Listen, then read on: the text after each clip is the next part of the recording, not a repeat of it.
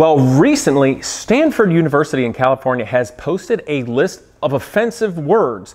Now, to be fair, they've done this in a way and shown the ways that they are offensive and given us opportunities to use different language that would not be offensive. Now, that's a perfectly nice thing to do uh, that will be met with wide criticism and some applause. Uh, however, I did notice they made a couple of mistakes because there were some engineering terms in it from the Industrial Revolution as well as aviation that actually have nothing to do with what they think it has to do with. So, to be perfectly honest, they did go too far and made a mistake, which I think is disappointing for how obscenely expensive Stanford University is, and you'd think the education was really good, but they clearly didn't do any research to see where it came from. Uh, so I'm going to read that and showcase it to you, but I have been inspired by Stanford and these offensive words. And what I learned is the car world and engineering is the most offensive world in the place that exists. So I just sat here for like two seconds and just started thinking of engineering terms from cars, and I got a whole list, and I'm gonna read them, and we're gonna come up with new words for cars, and then even go around because I realized that like my existence here is in fact offensive. Literally, my last name in German means to rebel and overthrow the government, and it's used with like the worst time in history. Even though my family immigrated to the United States in the 1800s, way before the word ever got used for that, my family has nothing to do with it. So I should probably change my name. I need to take down that American flag. I need to stop wearing this jacket because the Thunderbirds is offensive because it's Native American culture and myth appropriation. But so today we're going to go over this. First things first, Stanford's words list. Now, Casey, calm down. A blind review. An we should consider using the term anonymous review because unintentionally perpetuates the disability as somehow abnormal or negative, furthering an ableist culture. I don't really know what the word ableist is, guys. Like you're making it, mm, okay. You know, they don't want us to use words like dumb and handicap parking uh, or like insane or lame, uh, OCD, paraplegic, quadriplegic, spaz you know, uh, which I don't think I've used that since the 80s, but it's kind of a, a, thing. But let's just go down here to where there was a genuine mistake, and the words are not in fact offensive. And that is the term balls to the wall. Now, Stanford says that we should consider using the phrase accelerate efforts. And they say that we should not use the term balls to the wall because it attributes personality traits to anatomy. But I don't understand how anatomy, which is a part of just literally the human existence, would be offensive. A lot of people are offended by the existence of males, biological males in society, and the anatomy known as testicles have been referred to as balls. However, balls to the wall is actually an aviation phrase, which means that the throttle quadrants of an aircraft have little spheres on them. And spheres are also known as balls, colloquially. And that means if you take all them balls or spheres and push all your throttles, you guessed it, to the wall, full throttle, baby. And that's what it's from, and that's literally exactly what it means. So I was disappointed actually that Stanford missed that, and I think they need to calm down because just because somebody uses the word ball, like beach ball? Can we say beach ball or basketball or golf ball or football or soccer ball? Can we do that? I don't know if we can do that anymore. Apparently that relates to male anatomy, which I don't understand because my testicles are not spherical. They're sort of oblong and ovular, like on a three-dimensional aspect, so I don't really think of them as balls. That's toxic masculinity, and we don't want to get into it. Which is also interesting because they missed another phrase, and that's balls out! Woo! Which, again, has nothing to do with testicles and never did. Back in the days of steam locomotives, you'd have something called a governor, which is another phrase that might trigger someone, but a governor is something that regulates speed. So, for instance, let's say you have an engine that cannot go faster than a revolution per minute of 3,000 RPM. Now, if that's the case, and you have the ability to go full throttle, but it could overspeed and go past that, there was a device, the governor, that had a shaft, which I don't know if we can use the word shaft anymore, because you know anatomy, and it would spin. And there was a device on here with, with a tube. It would have these arms that go from the top of the spinning thing to spheres of calculated weights, or balls. Now those balls would, would swing down with gravity here like this, and there would be levers that come down here to that tube. And as it would spin, the faster it would spin, the balls from centrifugal force would come out and out and out and out and out and all the way. And when as they go out, they would go up like this and come outward and lift this sh little shaft here. And the shaft would be connected to something which would bring the throttle back so the engine could not overspeed, typical for steam locomotives. Balls out is simply an engineering term relating to steam locomotives and never had anything ever ever in the history to do with testicles or males or human anatomy. So that's really disappointing that just literally the word ball is now triggering Stanford University people that they don't even look up the history of it. They, they use that phrase like it's a bad thing, even though like the word ball is used all the time everywhere, throwing a tennis ball to your dog. Can we say that? Because like dog might be offensive because that's offensive to women, some might, and derogatory. I don't know if it ends. So I just wanted to tell them that, that maybe we should reconsider saying balls to the wall and balls out because that doesn't actually have anything to do with the toxic masculinity they don't like. Are any of you guys' you know, testicles spherical? I decided this is very important for us all to go over. Thought of a bunch of car engineering terms, and at first I thought this was silly, but then it started to get really fun. So let's go over here. We're gonna change the vocabulary of the car world. Axle. We can't say that because that sounds like asshole. We can call those half shafts, but then I realized that also refers to anatomy and we can't say shaft. I thought about it, we could call it a spinny stick. And then it reminds me of the Lady Gaga song, which is disco stick. And that I think does mean penis. For hoses and AN fittings, we can't call them male female anymore. And even though biology relates to basically all mammals, you know, because male would be the pointier thing going in the round thing, that could offend people. Maybe like couplers A and B. I don't think we should call them AN fittings anymore because I'm pretty sure is an acronym for Army Navy because where the fittings came from. Everybody knows that the Army and Navy only exist to kill people, break things, and smack down society. We should also get rid of the military. Transmission, we need to make sure we always say transmission and never the shortened version of that, tranny. We could call it gearbox, but then I thought we can't call it box, but we can't say transmission because that could relate to sexually transmission disease, spinny gear area. We can no longer refer to the hydraulic cylinders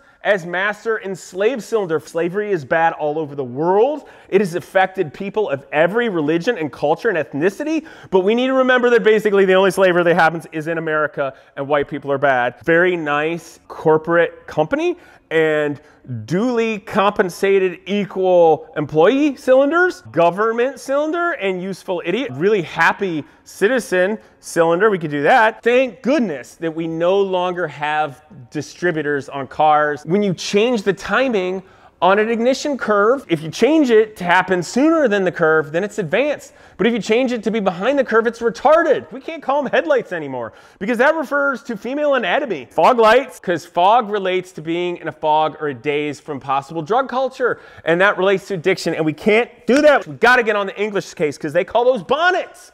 And this is what women wear. Centuries of female oppression. Car doesn't have a roof. And I feel like that's more egalitarian because people can't put a roof over their heads anymore. And that's shaming the homeless culture. We locks on a car, maybe we could say security enabler device, safe space, enabler locks connotate could be criminals out there. And that's not a choice that people make. The trunk the english guys you call that the boot. That sounds way too close to booty. We can't call those big exhaust tips fart cans anymore. Cans relate to female anatomy and farts like people can't help their flatulence. People actually call drivers of certain cars from countries racer that is cultural misappropriation. We're not calling american drivers hamburglers paddle shifters i don't like driving them but we can't call that anymore paddle comes from canoes, and that relates to the Native American culture. Valve lash? We can't say that because that relates to old sailing ships and like hitting people with lashes of the cat or whips from the slave trade. Carburetors, thank goodness they're gone, gone the way of the dodo. We can't say the way of dodo because that relates to extinction, animal extinction. Choke, that relates to BDSM or possible rape culture. We could call it an enricher device, but then that relates to class. If you're servicing a car, we can't say servicing because that relates to a one-sided sexual relationship. Lube job, because oh my God, you can't call mechanics grease monkeys anymore because it sounds too close to an ethnic. If you have the title to a car, we can't call you an owner because like there were people, there were owners of slaves because some people can't own a car and they have to lease it. And then some people are communists and then we can't call it climate controller anymore. We can't call it carpet anymore because that's not fair to lesbian culture. Brake pads, that relates to feminine hygiene products. Like the color of a car, we can't say black, we can't say red, we can't say yellow, and we sure as hell can't say white. White wall tires, Hoosier tires, sounds too much like who's your daddy. Indian motorcycle, oh my God. Triumph motorcycle, that's not fair. You gotta change your name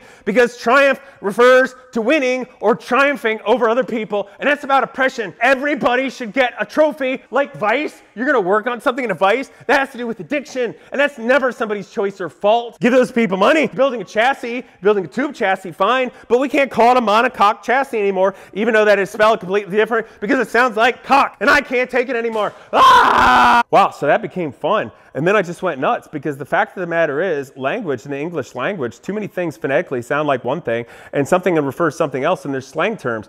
And the thing I've learned about all this is there's no end to it because let's go to advanced and retarded of the car, the ignition, right?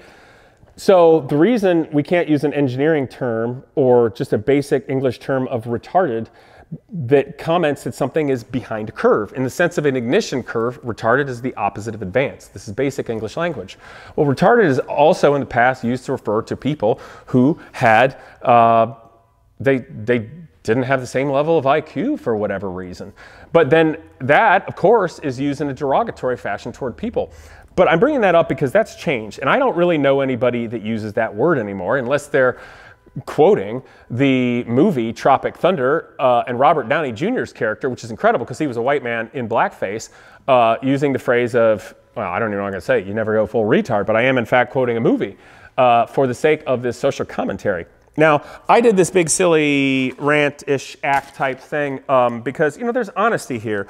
And I think it is important for us all to be kind and sensitive to other people um, and not just be mean. But the fact of the matter is the world is mean. Horrible things happen, and humanity as a culture and an animal on planet Earth has some very bad traits. Truthfully, I love animals across the board, but my least favorite animals are primates because of the traits they have, as well as humans. So, no matter what I'm saying is, people will always be offensive to other people, and they will always use words in an offensive way. And the fact of the matter is that I can use any word to describe anybody or anything relating to people and make something completely innocent offensive.